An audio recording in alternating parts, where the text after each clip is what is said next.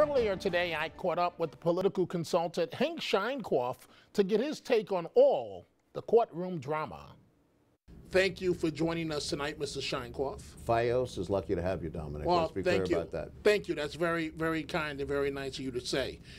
Quid pro quo. Right. Quid pro quo. Not one witness, not one testified of a direct quid pro quo. Right. Not even star prosecution witness Dr. Taub. Now let's just look at this for a second. Sure. Silver, using tax dollars, provides two grants to Columbia University Cancer Research Dr. Taub. Mm-hmm. Taub refers to Silver lucrative referrals of cancer patients, and off of those referrals, as a lawyer, Silver pulls in $3.3 Right. million dollars. So what you're saying is that Taub referred to Silver's law firm. Let's be very clear about that. And the real question is Weitz and Luxenberg. correct. Weitz and Luxenberg, which is Silver's law firm, and Silver makes a living off that. People must be kidding. They think this is crazy. In the old days, before it was uh, less than clear, lawyers would be would appear before the state liquor authority and every other regulatory body. And guess who those lawyers were? State legislators. So we're being ridiculous.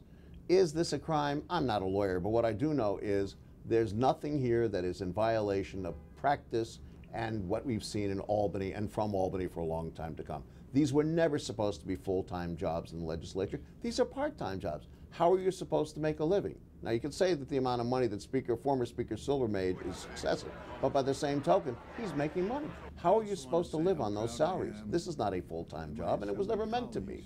folks watching you tonight, right now, Hank Sheinkopf, may hold their nose. They may actually hold their nose and say the process in Albany stinks. How does this all play out?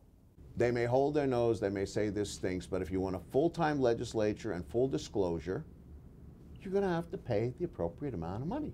California has a full time legislature. They still have people going to jail. You got to pay the money. And I don't think the taxpayers uh, are ready to do that. U.S. Attorney Preet Bharara, I've been sitting adjacent to him in the courtroom, and we exchanged pleasantries, uh, but of course he declined comment.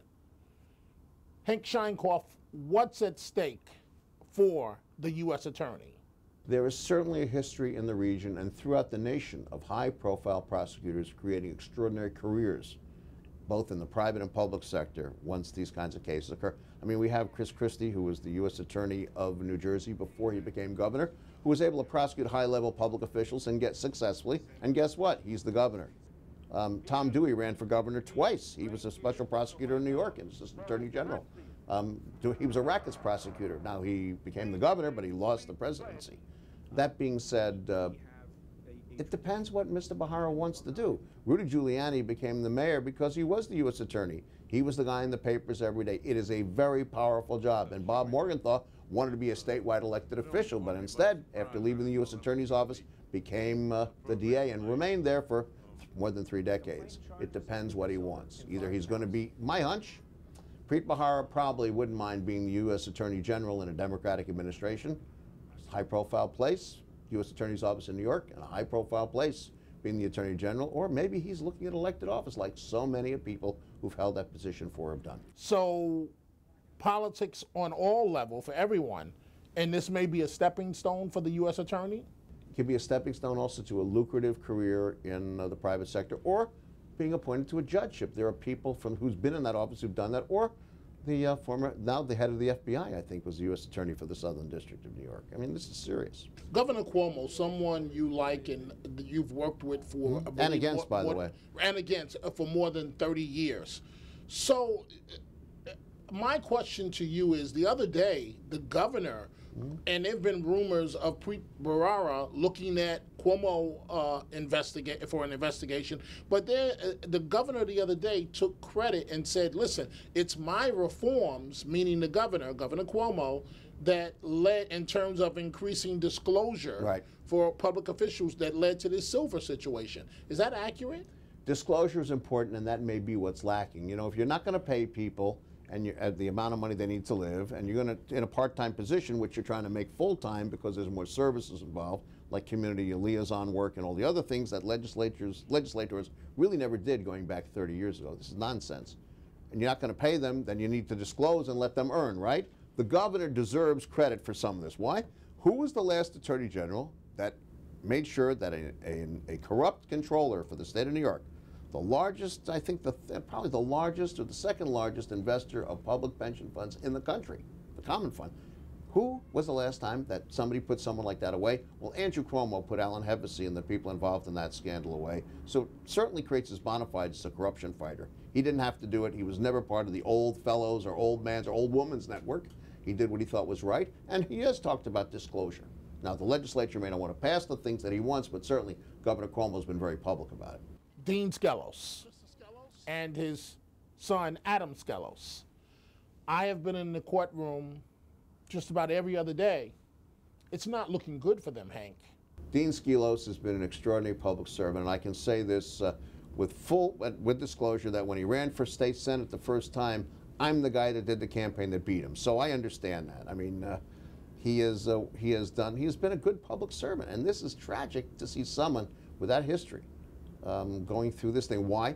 He helped his son. Well, who's he supposed to help? His enemies? Tom Libous, the same thing. Extraordinary public servant. You know, he was in, war, the, in that part of the state, in Broome County, the southern tier, in Binghamton, where you have Warren Anderson's seat in the Senate. That is an extraordinary thing. And downstaters really don't understand the importance of the state Senate. Those seats mean a lot to people north of Orange County. It's really quite something.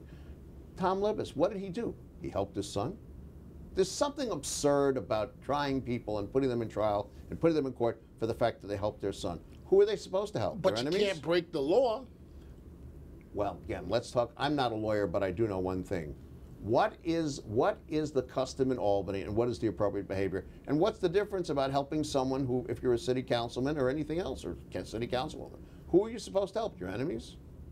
You help people you know, by and large, and lobbyists bring them to you, and others you know bring them to you, and they you meet them through fundraisers and all these other kinds of events. What are you supposed to do? Help people you don't know? You should, but that's not how it works.